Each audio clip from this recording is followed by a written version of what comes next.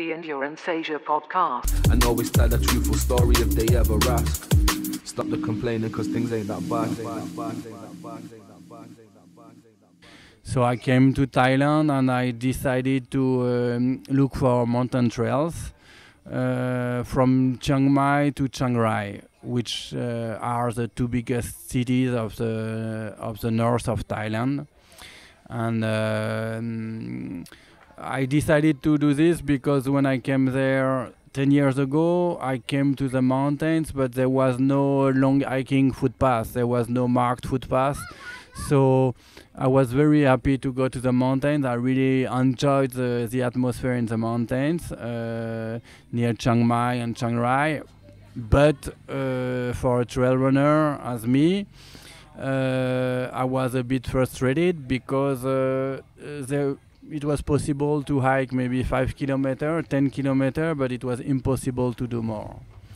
So I decided to come to Thailand and I decided to look for trails and I wanted to link to link Chiang Mai to Chiang Rai uh, because uh, in my opinion it was a good opportunity to have a, a full overview overview of what you can find in the mountains and it took me uh, one year uh, to find a, a, route because nobody knew uh, here, nobody knew any trails.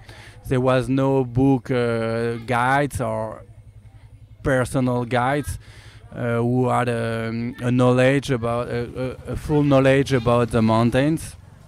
Just for those that don't know Thailand too well, like if you can yeah. just give the like location of Chiang Mai in relation to sort of yeah, Bangkok. Yeah, Thailand is uh, is famous for its islands, yeah. uh, which are located in the, in the south of uh, of Thailand.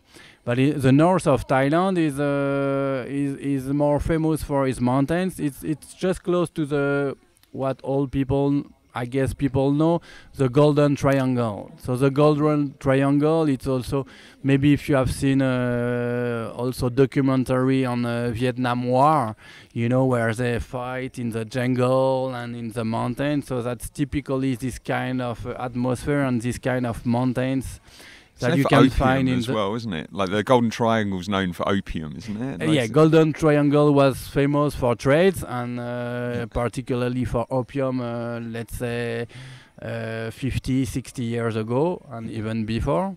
And it's where China, Laos, it's and, where uh, Thailand, uh, Burma, and Laos meet. Okay, yeah, and yeah. China is not far. Just, China yeah. is also so it's it's also not not far from China. Yeah. But yeah, the atmosphere that's actually that's the beginning of the Himalaya, Himalayan range. That's where the Himalayan Himalayan Himalayan range starts to grow.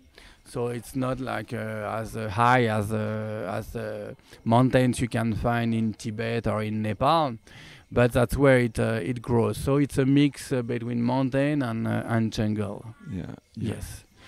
So I decided to and um, I decided to and, look and for. sorry, the distance between Chiang Mai and Chiang Rai? Uh, by by by the road, it's 150 kilometer. Got you. But uh, of course, by trail, it uh, it took uh, much much much longer. time.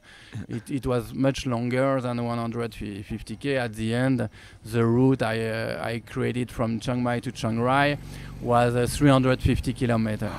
Really? Yeah, yeah, wow. because you know you can imagine that a, a road mostly goes uh, goes straight, yeah. but trails you have to deal with uh, with what exists. And to find the trails, I came to different to many many uh, hill tribe villages because there are many hill tribes uh, during the 20th century. Uh, many hill tribes who came from uh, Burma, from Laos, from south of China. Uh, they came to Thailand and they settled in uh, in the mountains. And to communicate between villages, uh, they used footpaths. And now the, all these villages are linked by dirt roads. Yeah. So local people don't really use footpaths as uh, as before, yeah. because now they have the choice to use motorbikes uh, here but there, there are like uh, many many trails many footpaths that was uh, used previously. So I decided to go to these villages and ask uh, local people to show me those trails, and uh, part by part, step by steps, I uh, finally I I could join all this part of uh, of trails and to create a whole route from uh, from Chiang Mai to Chiang Rai. The Endurance Asia podcast. And always tell a truthful story if they ever ask. Stop the complaining cause things ain't that bad.